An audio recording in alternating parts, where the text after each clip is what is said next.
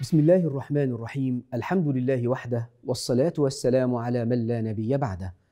أما بعد يقول الحق سبحانه وتعالى يا أيها الذين آمنوا اذكروا الله ذكرا كثيرا. صدق الله العظيم. ذكر الله عز وجل حين يتأمل الإنسان منا كلام سيدنا رسول الله صلى الله عليه وسلم الذي يتعلق بذكر الله عز وجل يستطيع أن يستخرج الكثير من الكنوز المعرفية الدقيقة المنيرة التي تبرز ثوابا عظيما واجرا منيرا من الله لمن ذكره سبحانه وتعالى. غير أننا لا نريد أن نختزل ذكر الله في عبارات وفقط مثل التسبيح والتهليل والتحميد والتكبير وانتهى الأمر. فذكر الله له أنواع كثيرة. الصلاة ذكر. قراءة القرآن ذكر. التفكر في خلق الله ذكر التفكر في نعم الله عز وجل ذكر قراءة القرآن ذكر الصلاة على سيدنا رسول الله صلى الله عليه وسلم ذكر المناجاة مع الله ذكر الدعاء لله سبحانه وتعالى ذكر حضور مجالس العلم ذكر كل ما يؤدي إلى معرفة الله سبحانه وتعالى وصناعة الخير والجمال فهو ذكر. اذا نحن لا نريد أن نختزل مفهوم ذكر الله سبحانه وتعالى في عبارات وانتهى الأمر. فكل ما يؤدي إلى معرفة الله عز وجل هذا يعد من ذكر الله سبحانه وتعالى. ذكر الله عز وجل من الأسباب الرئيسة للنجاة. وهنا نذكر بعض النماذج.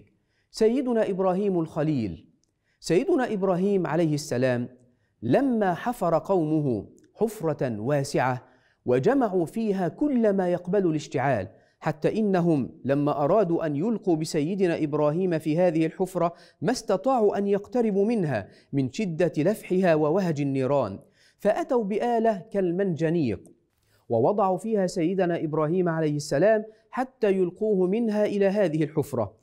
سيدنا إبراهيم عليه السلام وهو في طريقه إلى هذه الحفرة التي فيها كل ما يقبل الاشتعال. حتى إن بعض المفسرين قالوا الطائر الذي كان يسير فوقها كان يسقط مشويا من شدة لفح النار ووهجها.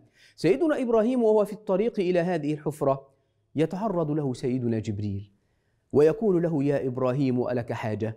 هنا سيدنا إبراهيم عليه السلام تعلق قلبه بالخالق ولم يتعلق بالمخلوق. هذا نوع أيضا من أنواع الذكر.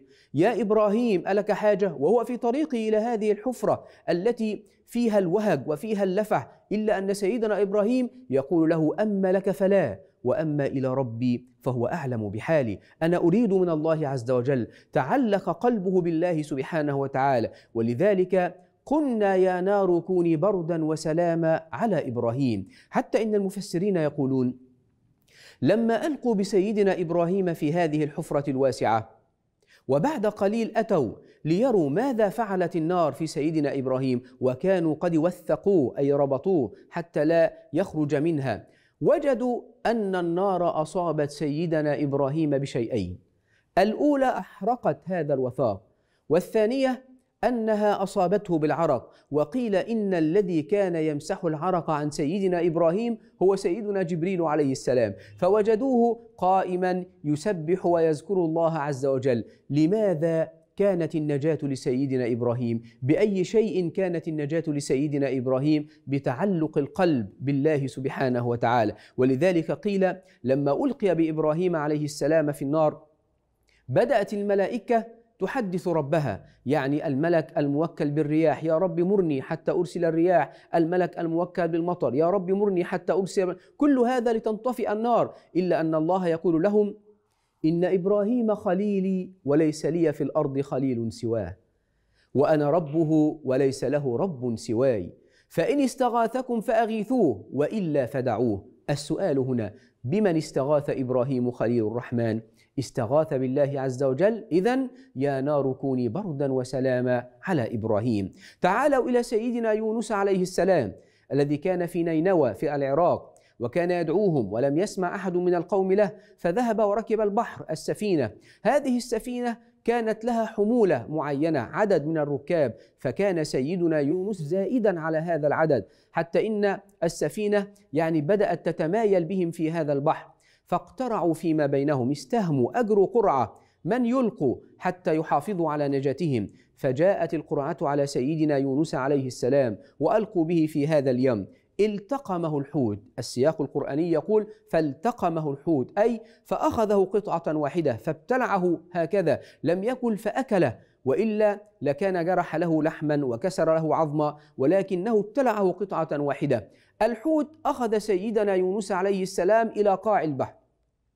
فسمع سيدنا يونس ما بقاع البحر يسبح بحمد الله عز وجل. فنادى في الظلمات أن لا إله إلا أنت سبحانك. إني كنت من الظالمين. يسمع الملائكة كلام سيدنا يونس فيقولون يا ربنا هذا صوت معروف في مكان غير مألوف. فيقول الله هذا صوت عبدي يونس. فبدأوا يتشفعوا عند الله عز وجل. ماذا قال لهم الله سبحانه؟ قال عز وجل فلولا أنه كان من المسبحين للبث في بطنه إلى يوم يبعثون. اذا سبيل النجاة أنه كان ذاكرا لله عز وجل. سيدنا يوسف عليه السلام لما دخل السجن وكان أحد الناس يخرج من هذا السجن قال له سيدنا يوسف اذكرني عند ربك يقصد الملك اذكرني عند الملك ذكر الملك أن يوسف في السجن. فينزل سيدنا جبريل على يوسف وهو في السجن يعاتبه كما قال بعض المفسرين.